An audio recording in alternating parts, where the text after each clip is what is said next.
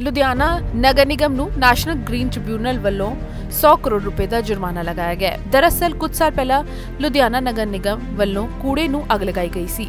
ਅੱਗ ਫੈਲਣ ਦੇ ਕਾਰਨ ਨਾਲ ਹੀ ਝੁੱਗੀ ਝੋਪੜੀ ਵੀ ਇਸ ਦੀ ਚਪੇਟ ਦੇ ਵਿੱਚ ਆ ਗਏ ਸੀ। ਉੱਥੇ ਰਹਿਣ ਵਾਲੇ ਕਈ ਲੋਕ ਆਪਣੀ ਜਾਨ ਤਾਂ ਬਚਾ ਲੈਂਦੇ, ਪਰ ਉਹਨਾਂ ਵਿੱਚੋਂ 7 ਲੋਕ ਆਪਣੀ ਜਾਨ ਨਹੀਂ ਬਚਾ ਪਾਏ ਅਤੇ ਇਸ ਭਿਆਨਕ ਹਾਦਸੇ ਦੇ ਵਿੱਚ ਕਈ ਲੋਕਾਂ ਦੇ ਘਰ ਜਲ ਗਏ। ਜਿਸ ਤੋਂ ਬਾਅਦ ਮਾਮਲਾ ਨੈਸ਼ਨਲ ਗ੍ਰੀਨ ਟ੍ਰਿਬਿਊਨਲ ਦੀ ਅਦਾਲਤ ਦੇ ਵਿੱਚ ਪਹੁੰਚਿਆ, ਤਾਂ ਉਹਨਾਂ ਨੇ ਮਾਮਲੇ ਨੂੰ ਗੰਭੀਰਤਾ ਤੋਂ ਲੈਂਦੇ ਹੋਏ ਲੁਧਿਆਣਾ ਨਗਰ ਨਿਗਮ ਨੂੰ 100 ਕਰੋੜ ਦਾ ਜੁਰਮਾਨਾ ਲਗਾਇਆ। ਐਨਜੀਟੀ ਨੇ ਇਹ ਪੂਰੀ ਰਕਮ ਇੱਕ ਮਹੀਨੇ ਦੇ ਅੰਦਰ ਨਗਰ ਨਿਗਮ ਨੂੰ ਜਮ੍ਹਾਂ ਕਰਵਾਉਣ ਦੇ ਆਦੇਸ਼ ਜਾਰੀ ਕੀਤੇ ਹਨ। ਹੁਣ ਇਸ ਪੂਰੇ ਮਾਮਲੇ ਨੂੰ ਲੈ ਕੇ ਸਾਂਸਦ ਸੰਤ ਸੀਚੇਵਾਲ ਨੇ ਮੀਡੀਆ ਦੇ ਸਾਹਮਣੇ ਆ ਕੇ ਕਿਹਾ ਕਿ ਐਨਜੀਟੀ ਇਹ ਸੁਨਿਸ਼ਚਿਤ ਕਰਨ ਦੀ ਪੂਰੀ ਕੋਸ਼ਿਸ਼ ਕਰ ਰਹੀ ਹੈ ਕਿ ਵਾਤਾਵਰਣ ਦਾ ਧਿਆਨ ਰੱਖਿਆ ਜਾਵੇ ਅਤੇ ਵਾਤਾਵਰਣ ਨੂੰ ਕਿਸੇ ਵੀ ਤਰੀਕੇ ਦੇ ਨਾਲ ਖਰਾਬ ਨਾ ਕੀਤਾ ਜਾਏ।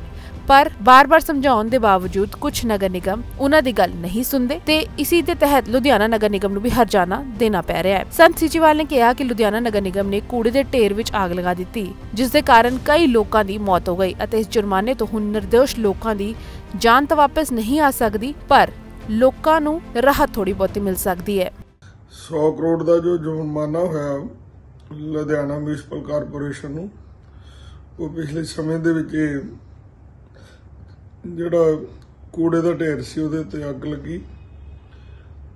ਉਹਦੇ ਨਾਲ ਝੁੱਗੀ ਸੜੀ, ਝੁੱਗੀ ਦੇ ਵਿੱਚ ਸੱਤ ਪਰਿਵਾਰ ਦੇ ਜੀ ਸੜ ਗਏ। ਉਹਦੇ ਰਿਪੋਰਟ ਐਨਜੀਟੀ ਨੇ ਮੰਗੀ ਸੀ।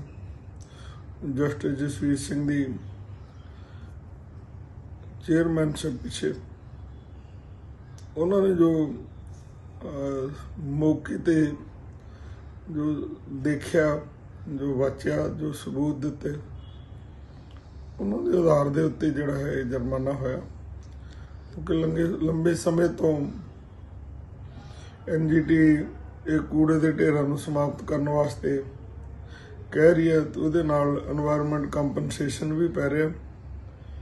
ਪਰ ਦੁੱਖ ਦੀ ਗੱਲ ਹੈ ਕਿ ਕੋਰਟ ਦੇ ਜਿਹੜੇ ਹੁਕਮ ਆ, ਉਹਨਾਂ ਨੂੰ ਵੀ ਮਿਊਨਿਸਪਲ ਕਾਰਪੋਰੇਸ਼ਨਾਂ ਜਿਹੜੀਆਂ ਉਹ ਮੰਨਣ ਨੂੰ ਤਿਆਰ ਨਹੀਂ, ਇਹ 100 ਕਰੋੜ ਰੁਪਇਆ ਇਸੇ ਕਰਕੇ ਹੀ ਜੁਰਮਾਨਾ ਹੋਇਆ ਤੇ ਮਹੀਨੇ ਦੇ ਅੰਦਰ ਇਹਨੂੰ ਜਮ੍ਹਾਂ ਕਰਾਉਣਾ।